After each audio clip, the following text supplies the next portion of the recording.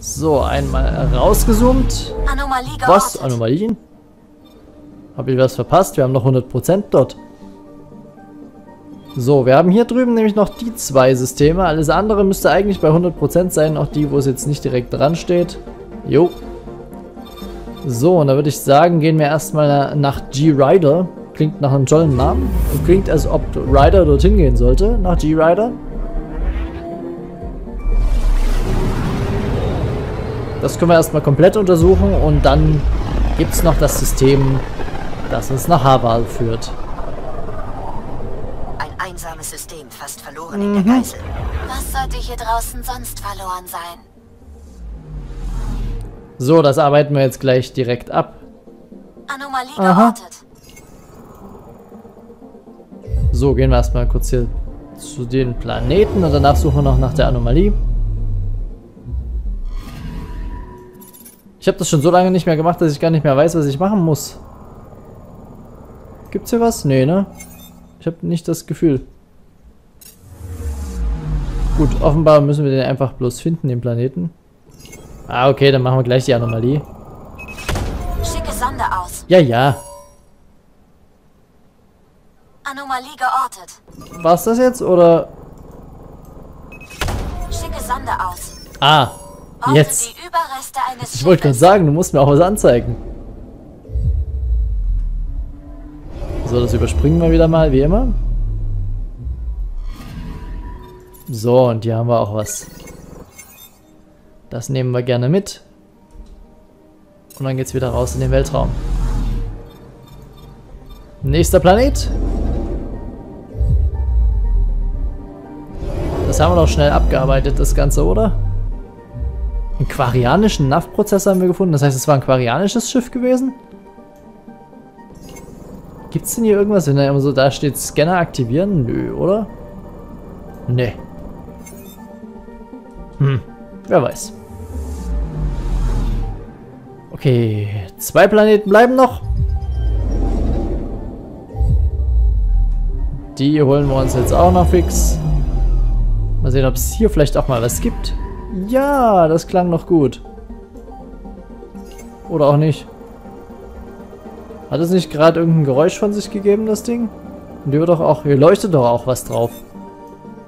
Ihr verarscht mich doch. Ihr verarscht mich. Ich weiß es genau. Na gut, dann der letzte Planet. Irgendeiner muss doch hier was haben. Es kann doch nicht sein, dass dieses Wrack das einzige ist, das wir hier finden. Ganzes Sonnensystem nur für ein Schiffswrack? Ah, schon besser. So will ich das hören. Ein großer Sturm. Sonde gestartet. Ich habe etwas gefunden. Yay! Dieser gewaltige Sturm zieht enorme Mengen an Helium-3 in die oberen Bereiche des Gasriesen. Ein wertvoller Fund, falls ein Abbau möglich ist. Gibt uns ein paar Erfahrungspunkte. Immerhin. Und damit ist auch dieses System soweit abgearbeitet und wir können uns aufmachen nach Faroang, wo wir Haval finden.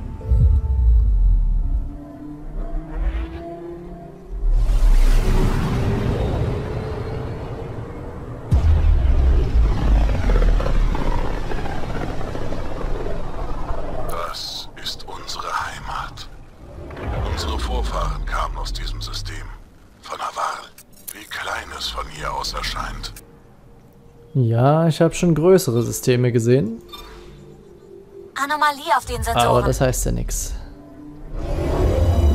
Oh, zwei Planeten gleich beieinander? Anomalie auf den Ja, Sensoren. warum auch nicht, ne? Kann man ja mal machen. So, da ist die Anomalie. Sonde unterwegs. Orte ein großes Mineralienvorkommen. Okay, nice. Nehmen wir gerne mit. Und dann schauen wir mal weiter. Anomalie geortet. Eine Anomalie. Der, der Komet Dämmerungsstern klingt nach einem großartigen poetischen Namen. Finde ich super. Okay. Schauen wir uns den Dämmerungsstern etwas näher an. Da gibt es Platin für uns. Das nehmen wir mit. Gut, weiter nach Postbar. Oh, haben wir gerade den Dämmerungsstern kaputt gemacht? Der ist irgendwie auseinandergefallen, hatte ich das Gefühl. Sowas aber auch. Okay, hier gibt es nichts, wie es aussieht. Bleibt noch Farum und dann natürlich Haval. Ich habe da gerade ein Gesicht gesehen auf dem Planeten. So, linke Hälfte. Ja, oder relativ weit links. Nach links schauendes Gesicht. Dunkel auf hellem Grund. Falls ihr nochmal zurückspulen wollt. Vielleicht habe ich mich auch gerade... Vielleicht habe ich mir das nur eingebildet. Ich weiß es nicht, aber es kam mir so vor. Gut, schauen wir uns mal an, was wir hier finden. Aha. Da ist was eingeschlagen. Sonde unterwegs. Ich habe etwas gefunden. Oder Biomaterialwachstum. Nee, doch nicht. Auf Farum, wo sonst kaum etwas gedeiht, erstrecken sich riesige Pilzwälder durch die feuchte und heiße Luft. Okay. Warum nicht? Das kann man machen. Gut, wir haben... Haben wir noch was? Oh, auf Postbar gibt es noch was, wie es aussieht. Was mir entgangen ist. Sauerei.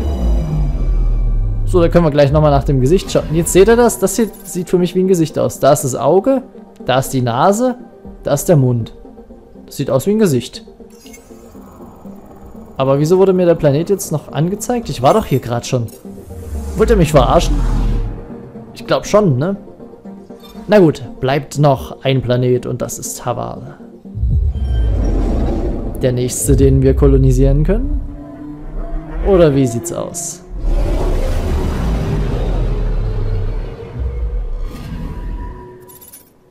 Das ist er also. Die Landezone auf Haval. Ein grüner Dschungelplanet, das klingt gut, das gefällt mir. Nachdem wir so viel Eis hatten auf Volt, das will ich sehen. Ab geht's.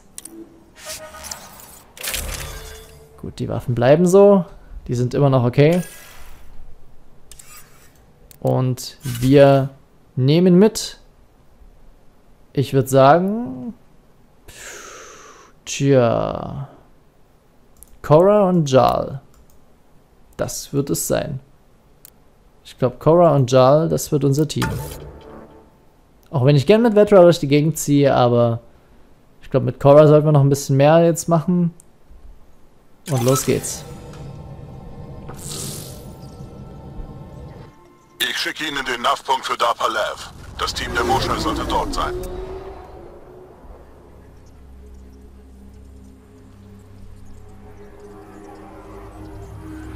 Es war früher eine angaranische Stadt. Es gibt dort Landeplätze und genügend freie Sicht für einen gefahrlosen Anflug. Anomalie auf den Sensoren. Etwas Großes. Möglicherweise feindlich. Leite Ausweichmanöver ein. Moment, ich glaube nicht, dass das...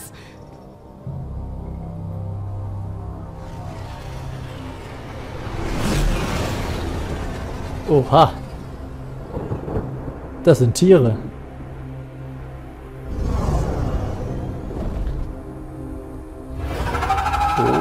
Oha.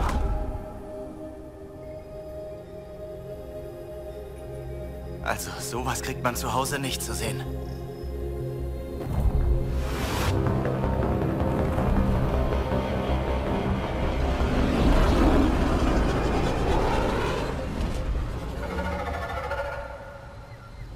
Ich bringe uns rein.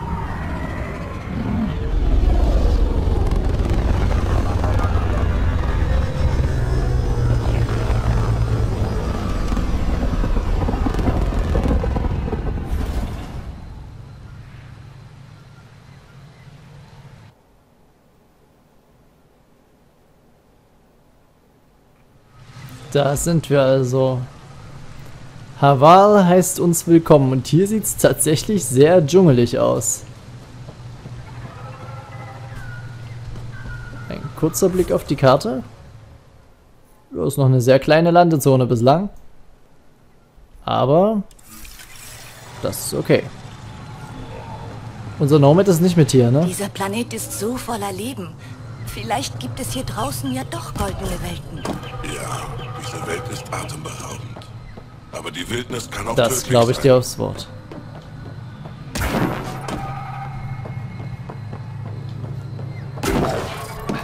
So, das scheint also ein bisschen anders zu laufen. Ich hätte mich jetzt auch ein bisschen gewundert, muss ich zugeben, wenn wir hier mit dem Nomad jetzt so frei rumgekurvt wären, wenn das eine Dschungelwelt ist.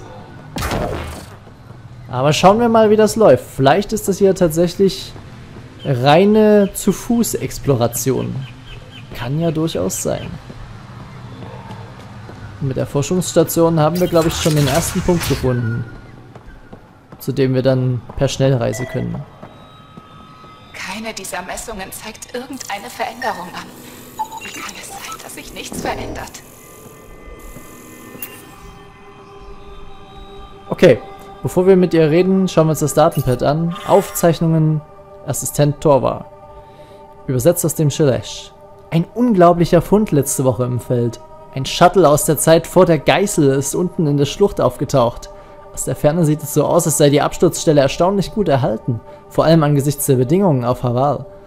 Ich weiß, dass Kiran mich nicht Entschuldigung. Ich weiß, dass Kiran mich damit beauftragt hat, den Monolithen zu untersuchen. Aber vielleicht könnte ich dort hinuntergelangen und mir die Sache ansehen. Nur kurz, um zu überprüfen, ob es dort etwas für Avela gibt. Okay, also auch hier ein Monolith. Ich bin gespannt mit den Monolithen, die auf Aya und hier auf Haval sind, wo eigentlich die Atmosphäre nicht geändert werden muss, ob wir da vielleicht was kaputt machen, wenn wir dann in die Gewölbe gehen und da was ändern. Wer weiß. Joel, was machen Sie denn hier in Begleitung dieser Leute? Kieran, das ist Pathfinder Ryder aus einer weit entfernten Galaxie. Ryder? Kieran Dals, leitende Wissenschaftlerin in Dar Palav. Als Vertreter der Andromeda-Initiative fühle ich mich geehrt, Sie kennenzulernen. Sind die alle so förmlich? Ah, Ich glaube nicht. Wo ist der Rest des Teams? Ryder hat Erfahrung mit den Relikten. Wir könnten Ihnen bei Ihren Untersuchungen helfen. Haben Sie es noch nicht gehört? Bei der Erforschung des Monolithen ist etwas schrecklich schiefgegangen. Sie sind in einer Art Relikt-Stase-Feld Okay. gefangen. Sie sind wie eingefroren und zeigen keinerlei Reaktion. Na, das klingt ja traumhaft. Sind Sie noch am Leben? Ihre Vitalwerte sind stabil und ihre neuralen Muster ähneln denjenigen von Personen im Tiefschlaf. Wir haben sie verschiedenen Stimuli ausgesetzt und ihnen Kichari injiziert, aber nichts hat funktioniert. Lassen Sie es Ryder versuchen. Er hat mit Relikttechnologie in einem Gewölbe interagiert. Oder zumindest behauptet er das. In einem Meer voller Fische hat einer Perlen im Maul. Aber gut. Wenn Sie denken, das Alien könnte uns helfen, werde ich meine Skepsis mal beiseite lassen. Der Monolith ist nicht weit von hier. Tun Sie, was Sie können, aber seien Sie vorsichtig. Wir wissen nicht, was die Stase ausgelöst hat. Es könnte also erneut geschehen. Das Alien klingt immer so despektierlich. Frechheit. Na gut, auf jeden Fall haben wir unsere Hilfe angeboten und sie scheint so widerwillig angenommen worden zu sein. Wir schauen mal, okay, nach Norden müssen wir, um das Ding zu machen, äh, zu aktivieren. Rachel 4.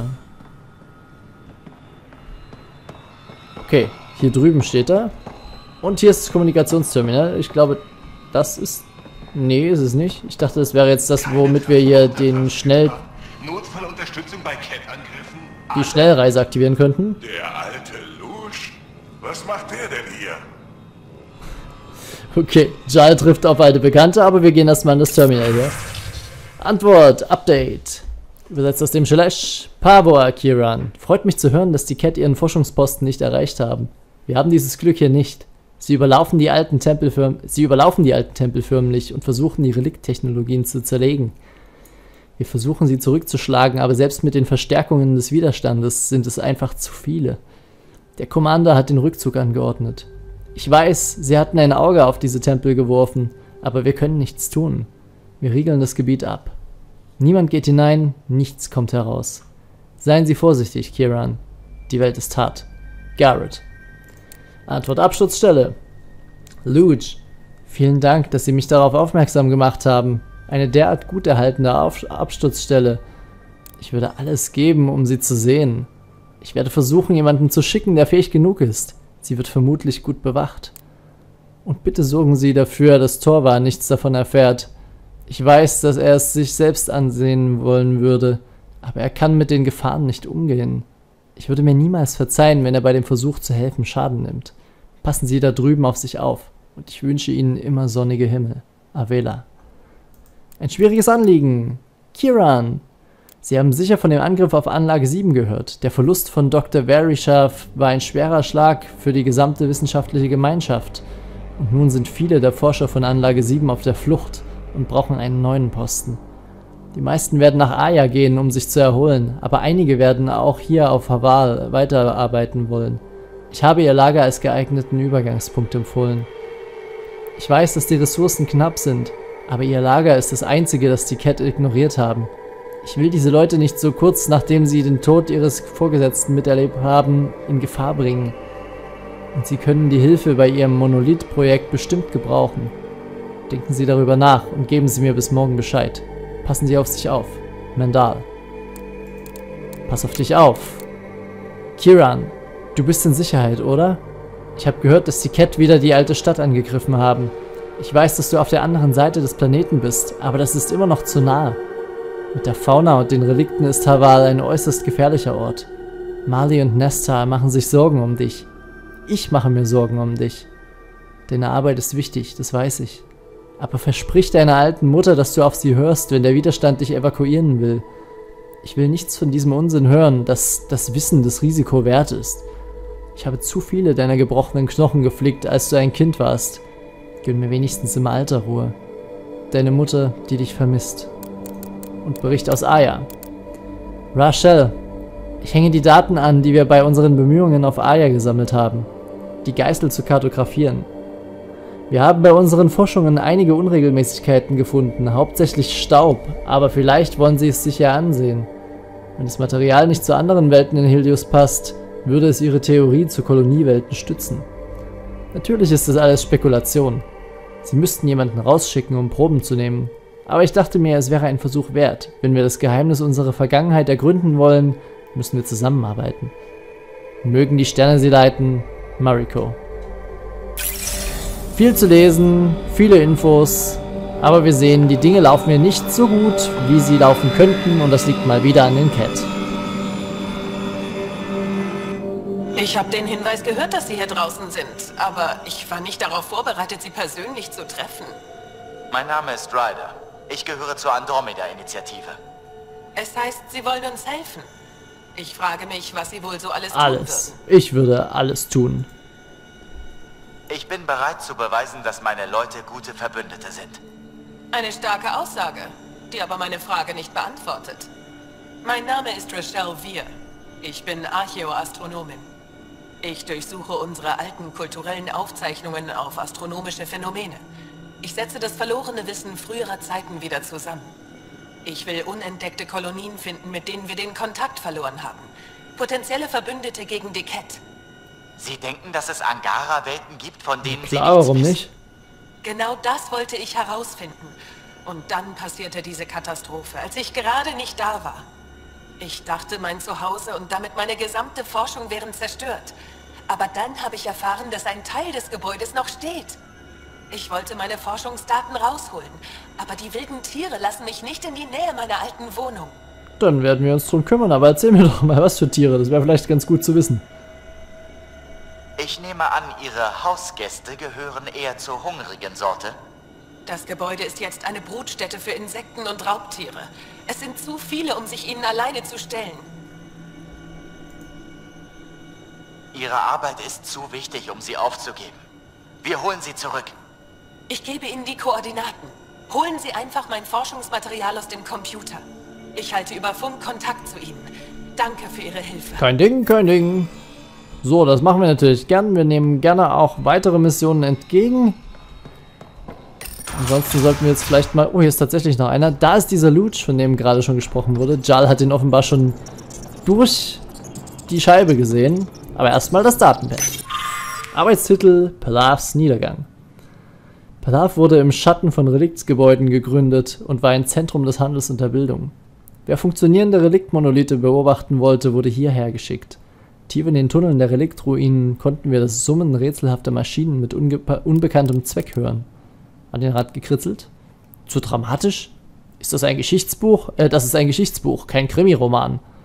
Erinnerung erwähnen, dass der gesamte Dar vom Dschungel überwuchert wurde und nur noch ein kleines wiederhergestelltes Gebiet steht, das als Forschungsaußenposten verwendet wird. Außerdem die Reliktgebiete erwähnen, die wir immer noch meiden sollen. Was dabei? Zabum für Ahnenland kaufen. Was auch immer. So, sprechen wir doch mal mit Luch. Ich glaube, der wird sich freuen, wieder auf Jarl zu treffen. Aber vorher klauen wir noch ein paar Mineralien. Was? Ich dachte, du wolltest vielleicht mit Jarl sprechen. Schließlich äh, steht er da und ihr scheint euch jetzt zu kennen. Aber, hi. Ist alles in Ordnung? Sie wirken verzweifelt. Wollen Sie einen Orden für diese scharfsinnige Beobachtung? Hm, Sie sind der Alien-Besucher, der auf Aya nach unserem Gewölbe gefragt hat. Sie haben von mir gehört? Wer nicht? Wenn merkwürdige neue Spezies auftauchen, spricht sich das rasch herum. Man kann nach den Cat nicht vorsichtig genug sein. Lush Anson, Historiker des Geschichtsspeichers Aya. Hören Sie, wenn Sie nichts brauchen, würden Sie dann bitte gehen. Ich organisiere gerade einen Transporter runter von diesem verfluchten Planeten. Aber warum denn das? Gerade jetzt, wo ich komme und es besser werden sollte. Warum sind Sie von Aya hierher gekommen? Kirans Team hat bei Ausgrabungen in den alten Ruinen Artefakte der Relikte gefunden. Ich sollte sie für den Speicher abholen. Es hätte höchstens einen Tag dauern sollen, aber die Dinge laufen ja niemals plangemäß, stimmt's? Sie scheinen Haval nicht sonderlich zu mögen. Die anderen Regionen von Haval sind okay, aber das hier? Oh nein, mit dieser Wildnis komme ich einfach nicht zurecht. Glauben Sie, diese Schutzräume wären sicher? Weit gefehlt. Heute Morgen habe ich eine dornige Ranke in meiner Koje gefunden. Ich bin hier gestrandet, weil ein Ast den Energiekern meines Shuttles durchbohrt hat. Klingt super. Das erinnert mich stark dran, äh, ich hatte jetzt vor kurzem mal äh, Der illustrierte Mann von Ray Bradbury gelesen. Also Ray Bradbury ist der, der äh, Fahrenheit, oh, lass mich lügen, wie ist die Zahl? 451? Ich habe keine Ahnung, äh, geschrieben hat. Science-Fiction-Autor. Und äh, das ist sehr interessant, weil der ja Science-Fiction vor, boah, keine Ahnung, 70 Jahren geschrieben hat oder so. Also es ist schon relativ alt, was er, nee, kannst du halt, glaube ich, nicht, aber über 50 Jahre, glaube ich, ist das schon her. Äh, und äh, für ihn ist die Science-Fiction-Zeit dann oft auch mal unsere jetzige Zeit. Und äh, bei ihm ging es dann auch so drum, äh, um Reisen auf Mars oder Venus. Also das war so im Prinzip der Horizont, mit dem da oft gearbeitet wurde. Und da gab es eine Geschichte äh, von einem Trupp, der auf der Venus war. Fand ich sehr interessant. Die Venus war da ein Planet, auf dem es immer regnet und auf dem halt ein sehr dichter Dschungel ist. Und da war es auch so, dass Leichen, wenn Leute gestorben sind, dann wurden die Leichen innerhalb kürzester Zeit überwuchert von äh, Ranken und waren weg. Dann einfach. Das war, fand ich ganz interessant, wie er das geschrieben hatte. Also die Menschen sind dann einfach wahnsinnig geworden, wenn sie längere Zeit draußen waren, weil äh, immer überall äh, Wolken waren, richtig dichte Wolken. Man hat also nie die Sonne gesehen. Deswegen hat man dann Sonnenräume installiert oder Sonnenbunker. Ich weiß gar nicht mehr, wie die genau hießen. Jedenfalls Bunker, in denen quasi künstliche Sonnen waren, damit man sich daran wärmen kann. Aber die waren eben gestrandet in der Wildnis, dieser Trupp. Und die sind dann wahnsinnig geworden, weil eben ununterbrochen starker Regen da war und sie es die ganze Zeit auf die Rübe bekommen haben. Ihnen hat die ganze Zeit der Regen auf den Kopf geklatscht und die sind davon einfach verrückt geworden. Und die Verrücktheit hat sich dann so ausge äh, oder hat sich dann so gezeigt, dass äh, die Leute einer nach dem anderen einfach stehen geblieben sind, den Kopf in den Nacken gelegt haben, den Mund geöffnet haben und ertrunken sind im Regen. Fand ich sehr spannend, muss ich sagen. Fiel mir gerade dazu ein, weil er so meinte, dass äh, sein Energiekern von einem Ast durchbohrt wurde, weil es schnell gewachsen ist. Aber gut, reden wir noch schnell fertig und dann will ich auch mal Feierabend machen mit der Aufnahmesession. Sie haben Ruinen der Relikte erwähnt. Gibt es hier viele Relikte? Ja, wenn Sie draußen im Dschungel waren, haben Sie wahrscheinlich einige davon gesehen. Wir glauben, die Ruinen gehörten zu einem weitläufigen Komplex der Relikte. Wir haben Gänge gesehen, die sich ober- und unterirdisch entlang binden. Vor Generationen hat unser Volk Zuflucht gesucht in dem, was wir hier gefunden haben. So ist Palev entstanden. Gab es keine feindseligen Reliktmaschinen? Den Chroniken nach nicht.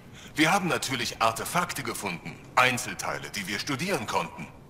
Aber es heißt, es wäre gewesen, als würde man in ein leeres Haus einziehen. Heißt es wirklich Palav? Weil da stand Palav. Wäre mal interessant zu wissen, wie es denn nur heißt. Na gut, okay. Also, Ich will Sie nicht länger stören. Sehr gut. Achten Sie da draußen auf die Pflanzen. Die sind fies. danke für den Hinweis. Also, er ist dann ja doch ein bisschen kooperativ geworden und hat uns dann noch ein bisschen geholfen hiermit. Das ist also der erste Eindruck, den wir von diesem Planeten bekommen. Wirkt gar nicht mal so positiv. Wer hätte das gedacht? Vielleicht ist dann tatsächlich unser Ziel, die Atmosphäre so zu verändern, dass es weniger dschungelig ist. Ich habe keine Ahnung, ehrlich gesagt. So, aber man scheint nicht direkt... Die Tempest hat diese Position als geeigneten Aufklärungsposten-Abwurfpunkt markiert. Wir können sie mal auch uns markieren.